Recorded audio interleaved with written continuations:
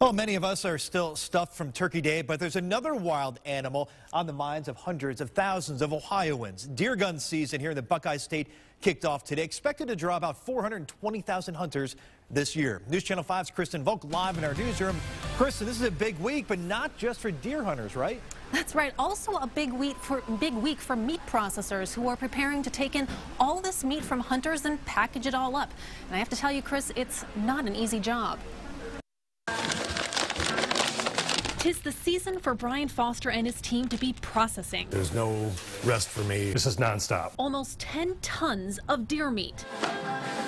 You're basically putting you know, 12, 14, 16 hour days in. And today is the kickoff as Ohio's deer hunting season begins. We have a mm, perfect opening day weather-wise, which is one of the biggest factors in how successful hunting is. Jamie Emmert of the Ohio Division of Wildlife says more than 420,000 hunters are expected to participate this season, which runs today through Sunday.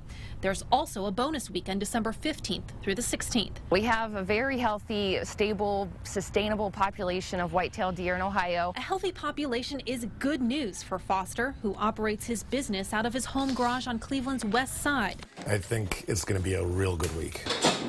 Together, these guys will skin, cut, process, and package one deer in just a few hours. It's very important to, for the health of both humans and deer to, uh, to provide hunting opportunities. It keeps the population in check, keeping deer healthy, reducing conflicts with humans. Conflicts like this, when a deer smashed through a driver's windshield in Lorain County earlier this month, killing the man instantly. Brian's deer cutting service expects to process about 300 deer total this season, but not every animal goes back to its owner. We usually ask everybody that comes in if they want to donate something. Foster and his team donate any extra meat to the hungry, keeping the spirit of the holiday season in mind.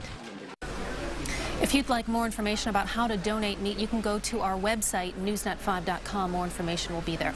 Live in the newsroom, I'm Kristen Volk, News Channel 5.